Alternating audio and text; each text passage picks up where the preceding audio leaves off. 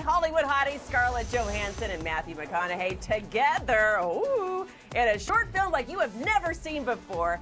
It's a new ad just released for Dolce & Gabbana and directed by Martin Scorsese. So entertainment journalist Maggie Furlong back with us from Hollywood. So Maggie, it is time to review the sexiness. Watch.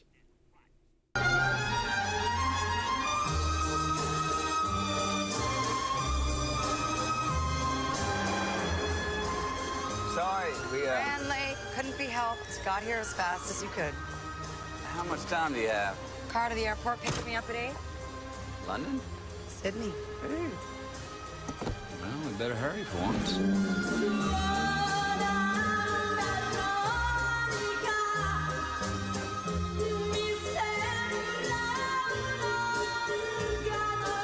like your dress. I think I saw it in a magazine. You looked happy. I was acting.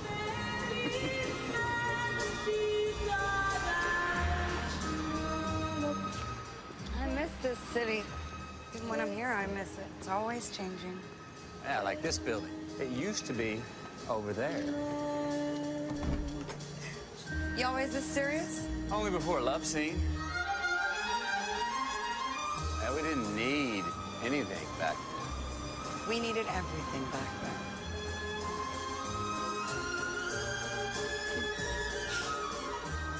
We should go back. Yes, we should. See, that's all you need to say.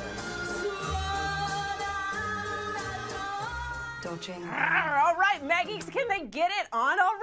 The chemistry between those two, Scarlett and Matt, was smoking hot.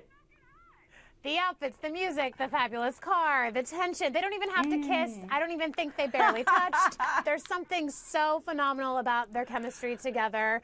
And and the city, the vibe. Nobody captures that better than Martin Scorsese. But the two of them Right. together, who who knew? I know, and I feel like I need some closure now. I don't know about you, but I mean, the gorgeous city of New York, a gorgeous woman, a hot oh, man, award-winning director too, uh, Maggie. So, I mean, do you want to see them together in a full-blown movie or something?